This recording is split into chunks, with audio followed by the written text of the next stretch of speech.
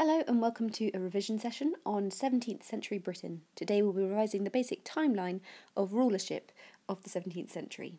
We'll start by looking at the reign of Charles I, then the Republican governments, the restoration of Charles II, and the Glorious Revolution.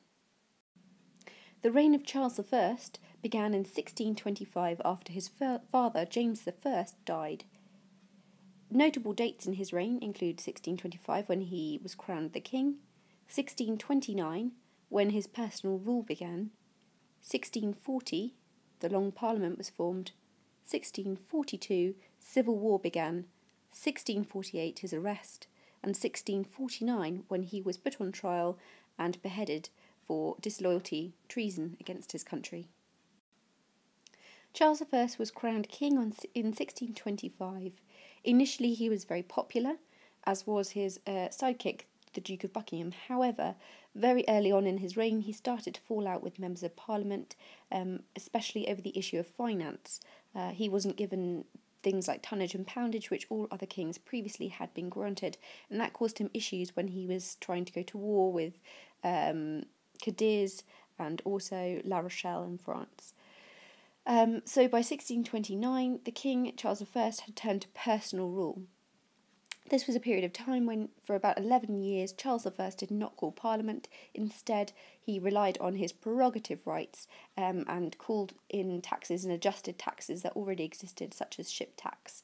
Uh, the period of personal rule was incredibly unpopular for the members of Parliament, and Charles I hit a problem when, uh, in 1639, uh, the First Bishops' War broke out when he was attempting to enforce the English prayer book in Scottish churches.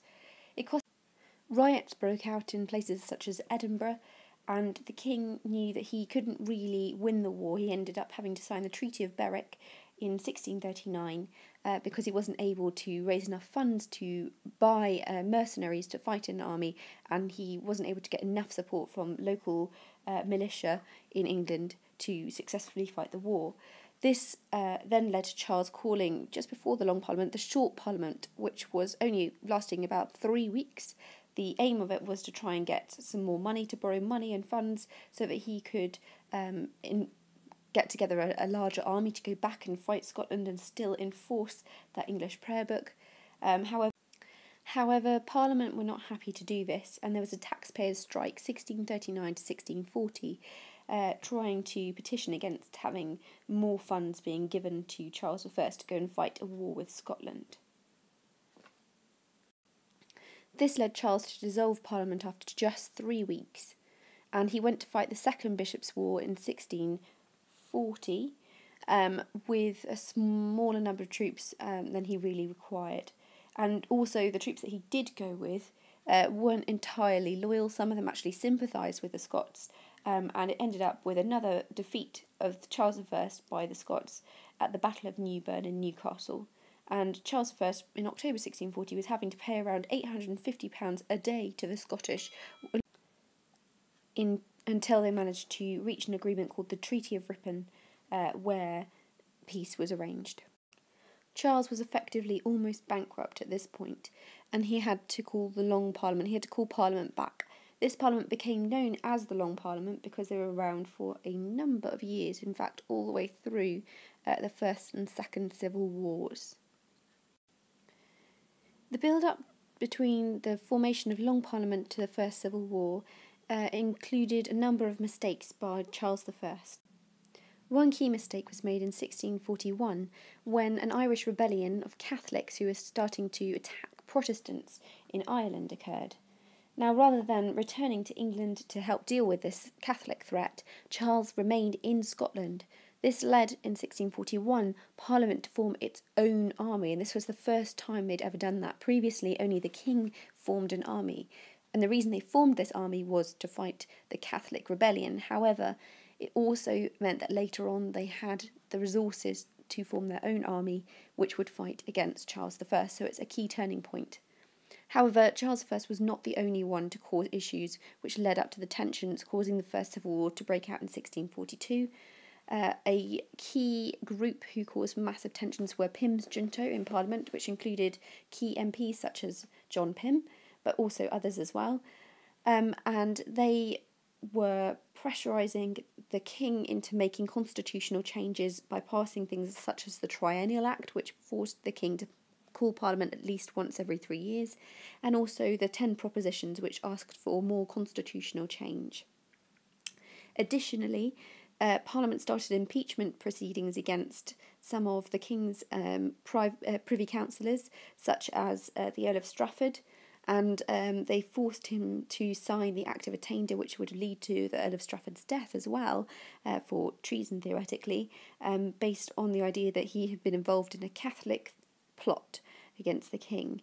Um, and an, an angry mob surrounded Parliament and sort of got to the point where Charles had to sign the treaty, the Act of Attainder, against the Earl of Strafford um, in order to prevent there being further rioting. Uh, a major event which caused the outbreak of the First Civil War was a rumour going round that of the impeachment of the Queen. Now, given that Parliament had already impeached both the Earl of Strafford and also impeached the Duke of Buckingham, or at least attempted to, um, it didn't seem entirely un- implausible that they might have been impeaching the Queen, potentially for her Catholic beliefs and her practices. So Charles I sent a number of men to Parliament to arrest and impeach or start impeachment proceedings against five members of Parliament, including John Pym, um, who he believed were doing the impeaching against the Queen. Um, the army sent there to arrest the five members of Parliament were too late, as the rumours had spread and the five members of Parliament had escaped. The king panicked and he fled from London to Hampton Court. Um, at this point, the First Civil War uh, breaks out uh, Parliament calling their own army and the King calling his own army. At this point in Nottingham, he'd gone as far as Nottingham up north. Um, and in August 1642, the First Civil War was declared by the King against Parliament. The two groups, uh, as we know, the key terms we use for them are the Cavaliers or the Royalists, who are the people supporting the king, and the Roundheads, also known as parliamentarians, the people supporting Parliament in this civil war. The First Civil War lasted from 1642 to 1646. Initially, the Royalists were ahead, gaining advantages at the Battle of Edge Hill. However, uh, the parliamentarians gained an advantage after the Battle of Marston Moor in 1644. There was an attempt at peace treaty talks in 1645, believe it or not, in Uxbridge. However, this didn't work out, and um, the new model army was formed by Fairfax and Cromwell, um, and uh, this consisted of about 22,000 men, and it was more united than forces previously had been, which meant Parliament became a much stronger force. Um, and eventually, um, in the Battle of Naseby, uh, they made a third major victory, and uh, by 1646, Charles had surrendered. After Charles I was captured, in 1646 in April, there were attempts at reaching reconciliation between the king and parliament. Uh, for example, the propositions, uh, the Newcastle propositions, made a number of different demands of the king, including the idea that perhaps peace would be arranged and the king would be returned to power if he made some constitutional changes, um, such as the fact that the, the parliament would be in control of the army for around 20 years and could choose who the key privy councillors and officers of state would be, and that kind of thing. However, Charles didn't actually ever really answer. He delayed answering this uh, agreement. And whilst they were waiting for the king's reply, which was probably inevitably never going to be yes to that proposal, um, members of the New Model Army published their own declaration of what they wanted. Um, and they published the representation of the army, which made uh, demands such as the triennial act would be replaced with a biennial one, so parliaments would be called every two years, um, and that parliament would be allowed to um, nominate key officers and control the army, and bishops would be uh, used in the church, but they wouldn't have the same sort of powers as they did before because members of the New Model Army included the Levellers and they wanted radical religious changes. And in fact, the Levellers published their own proposals as to what they wanted to happen, um, in settling with the king, which was called the Case of the Army Truly Stated. Charles briefly escaped from Hampton Court and then was recaptured again, and secretly um, had made an agreement with the Scots that if they were to fight and help him to uh, regain control of the country, that he would make some religious concessions for them. And this led to the outbreak of the Second Civil War in 1648 to 1649. The war was fairly brief. The Scottish troops were easily defeated by Cromwell's new model army. Cromwell started to accuse the king of treason, saying that uh, by renewing civil war again, uh, it was disloyalty to the point of treason against his own country. Some of Parliament, in fact, a, a, quite a large majority of Parliament, were still willing to negotiate with the King. The King claimed that uh, he would maybe consider some modified version of the Newcastle proposition that had previously been offered to him uh, as a settlement. However, a smaller group within Parliament um, started to argue the case for actually executing or punishing the king for what he'd done on the basis that it was treason. Now, in order to uh, pursue this after the Second Civil War, um, there was the creation in 1648 of Rump Parliament.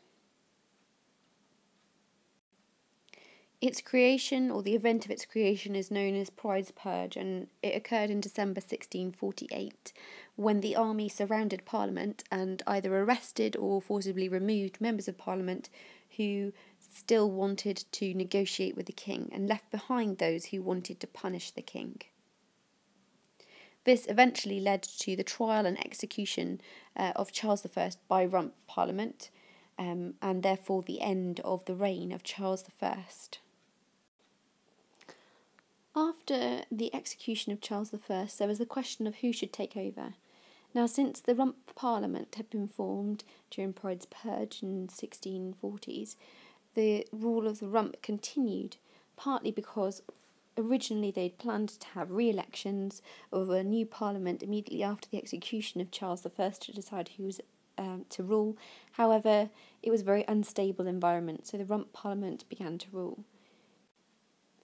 The original plan hadn't actually been for the rump to rule in 1649 after the execution of the king, but in fact for there to be an election. However, the country was very unstable at the time and it was deemed impossible to have um, this election at this point. So the rump parliament was named as the sole legislative authority in England. That means the only group who were able to make laws. And they created for themselves something similar to what the the king had had in the form of the Privy Council. Instead, they had the Council of State, um, a group of people who would uh, make all the kind of decision making and suggestions.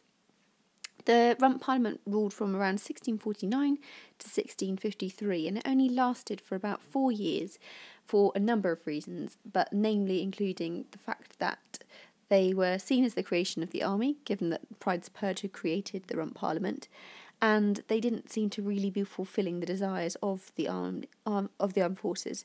So, for example, although they initially started out um, making lots of new laws and legislation, passing over hundred laws in their first year, by 1652, three years later, they only passed around fifty laws, and it was seen as kind of slowly um, stopping the kind of legislative changes that were desired, and, and people felt that they were slowing up and not really fulfilling the purpose that they had been created. So by 1654, a new form of parliament was created. Cromwell asked churches to elect members to a nominated assembly. Nominated because that means uh, kind of putting forward someone. So uh, they were ruling the country uh, from 1653 to 1654 and the idea was that they'd been selected by God or called by God to reform England. They were also known as the Barebones Parliament, which came from one of its radical members, Nicholas Barebone or Barbon.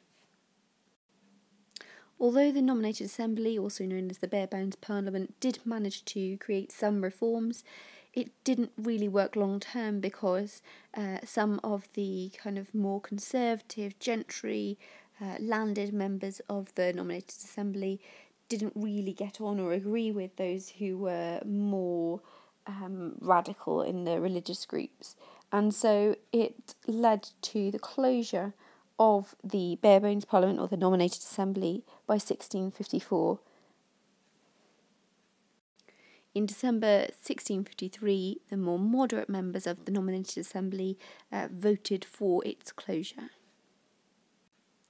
After the closure of the nominated assembly, it was decided that a new type of government would be trialled out. Since the assembly hadn't really worked out and people hadn't been able to really agree with each other about what the changes should be, they decided instead of an assembly, they should have one single person in charge of government.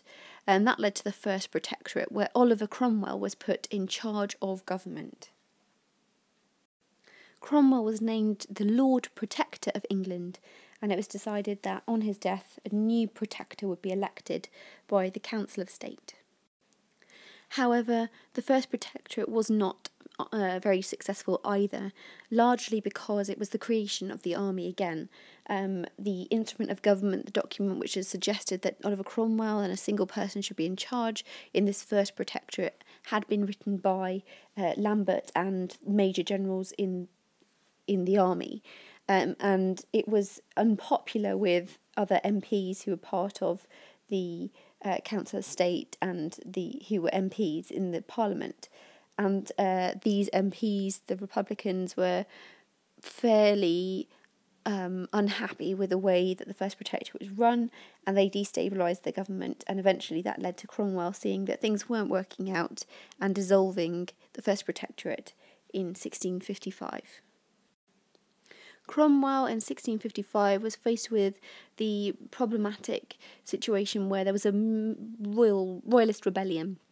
And although it was an unsuccessful one, he realised that he needed greater control over the country, and he introduced another form of government, uh, a military um, rule over the country called the Rule of the Major Generals, which is sometimes also known as the Second Protective uh, Protectorate Parliament to ensure that England was stable and there was no military rebellion, Oliver Cromwell suggested that major generals were put in charge of each major part of England. Um, this was successful, more successful in some areas of England than others, dependent on how effective each major general was at um, ruling that area. The major generals were known, in particular, they had a reputation for suppressing traditional entertainment, and that was incredibly unpopular. And uh, although in some ways there was an element of stability in the country, and by 1657 Oliver Cromwell had even been offered the crown of uh, England and perhaps to become the king, um, he rejected this and um, he realised that the unpopular nature of the Major General's rule meant that there was a need for a new constitution. So by 1657, there was a new constitution. The Second Protectorate Parliament suggested the humble petition and advice in 1657. And this uh, firstly suggested that there should be government by a king to ensure stability and that there would be hereditary succession, so their son or daughter would take over the ruling of the country after they died. Oliver Cromwell refused this part of the humble petition advice, um, and so they changed the idea to it being um, a Lord Protector in charge of the country instead, but still hereditary succession, um, and that the Parliament would be able to control the army so that there wouldn't be as much uh, concern as there had been when the major generals had been in charge. There'd also be regular elections and some religious toleration as well. Cromwell died in 1658, and by 1659, a third protectorate was established. Uh, this had uh, his son, Richard, in charge. Uh, this was because part of the humble petition of advice had, of course, been the idea of hereditary succession, so his son would automatically take over.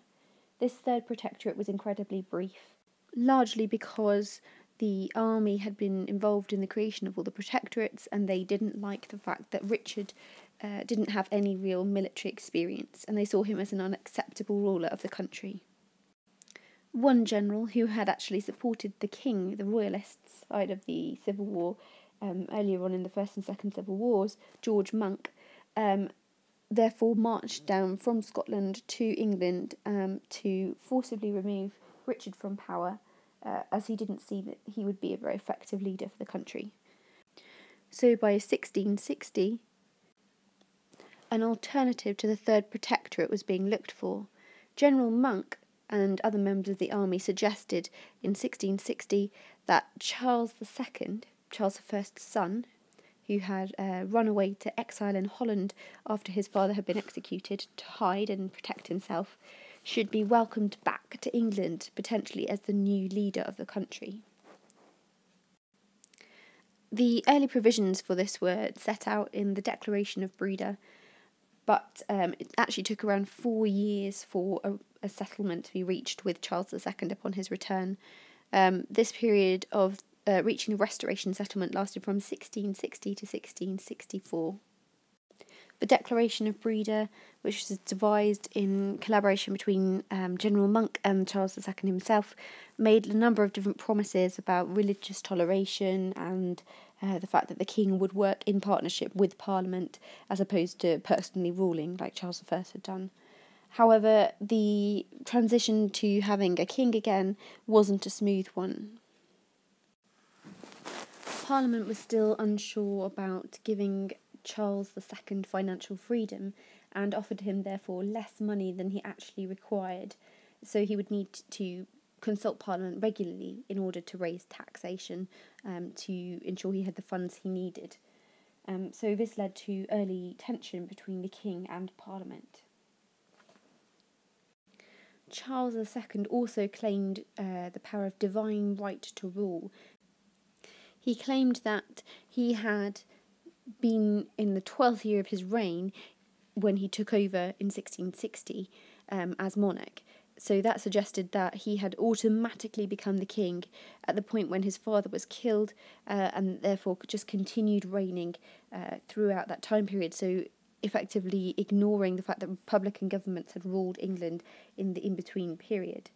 Um, and by doing this, he was undermining the power of the Parliament and suggesting that he still had those prerogative powers that his father had used. Charles II also caused tensions uh, in the period of his rule since uh, he supported the French cause uh, and the French were Catholic. Uh, it was unsurprising given his mother, Henrietta Maria, was a French Catholic, but it raised suspicions about him himself being a Catholic, and that caused tension in the country a Church of England priest called Titus Oates spread rumours of popish plots and plots of Catholics against the Protestants and against uh, the king himself, um, and started to uh, try those who he believed were to blame.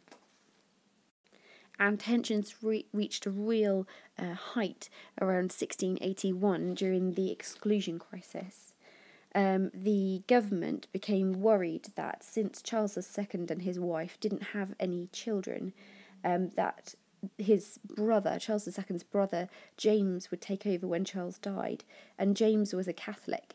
So they attempted to pass uh, an act called the Exclusion Bill in 1679, uh, preventing his brother from becoming the king should Charles I die without children and that absolutely caused massive tensions between the two groups because Charles was horrified and saw Parliament as completely overstepping their right because he believed in the divine right. So therefore, if if he died and his brother took over, then he had the right to become the king. Um, and in 1660, Parliament again attempted to do the same thing. Uh, again, the, the king blocks their attempts to pass the uh, laws long enough for some of the kind of anti Catholic hysteria to um, subside and become less powerful than it had been. Um, but Charles also made a secret agreement at this time with uh, the French king Louis XIV um, that he would support France if any hostility was shown towards them, and he would suspend Parliament if any hostility was shown towards them uh, for being Catholic. In 1685, Charles II died, and since Charles II had been successful in suppressing the exclusion crisis, um, Charles II's brother James II took over, a Catholic in charge of England, in 1685. James II was incredibly unpopular for a number of reasons, but largely because he used his prerogative rights to rule and attempted to rule um, on his own uh, form of personal rule, um, and also because of his Catholic tendencies. So, for example, uh, the case of Godden and Hales proved that he was a strong Catholic believer and someone who was going to support the Catholics in 1686 um, when um, it was a case in court. Sir Edward Hales, who was a Catholic, being persecuted by a man called Arthur, God- Arthur Godden, um, and Arthur Godden accused Edward Hales of um, trying to become a military commander without being Church of England and being Catholic instead. And the king um, supported Edward Hales and said that um, he could judge whether or not Hales was at fault and said that Hales was not at fault for being Catholic. Uh, so, kind of proving that he was supporting Catholics um, and not prosecuting them, and that made people very worried about his religion. This caused further problems because in 1687 he granted freedom of worship to Catholics as well as Protestants um, in the Declaration of Indulgence, and this caused major tensions. It's unlikely that he James II really wanted to pursue making everyone a Catholic, but people at the time were very concerned about what was going on because of things going on in the continent in France, where Louis the Six, uh, Louis the Fourteenth had um, started to persecute Protestants. So people in England became worried that well, if James II is like Louis and he's also Catholic, what if James II in England starts to persecute Protestants here too? So even though he didn't, uh, what was going on in France caused these extra tensions. Not only this, but by 1688, James II's wife gave birth to a baby boy who would be brought up as a Catholic, which meant that people's fears were confirmed. The next Catholic, the next monarch would also be a Catholic, and therefore, so on and so forth. Um, there would be a succession of Catholic monarchs, and that went completely against the desires of the majority of the country. In 1688, this therefore led to the events called the Glorious Revolution. A letter was sent to William of Orange in Holland asking him to come to England with armed forces to um, support Parliament and their cause. The seven political figures who had sent the letter actually represented a really broad spectrum of different people, um, and it showed how um, varied it was that it went from people who had been Catholic and converted to being Church of England, uh, as well as um, people who were earls and re- previously been impeached. Um, and it showed how many people James II had alienated during his reign. If James II had called his forces and defended himself, it's likely that he may actually have succeeded in uh, beating William of Orange's forces. However, he didn't do this, and when William uh, landed in Devon and approached London in December 1688, uh, it was James II that panicked and ran away, um, therefore leaving the country effectively without a leader. So, William of Orange and his wife Mary were declared the uh, new heirs to the throne and were crowned King and Queen, Protestants, of England in 1688 um, and that was the Glorious Revolution.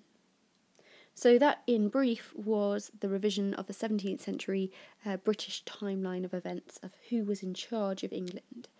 Uh, you will definitely want to do some extra reading on these topics before you sit your exam. For extra reading, use your textbook Bullock, Nuttall and White's Revolutions in Early Modern and Modern Europe, pages 13 to 38. Good luck with your revision.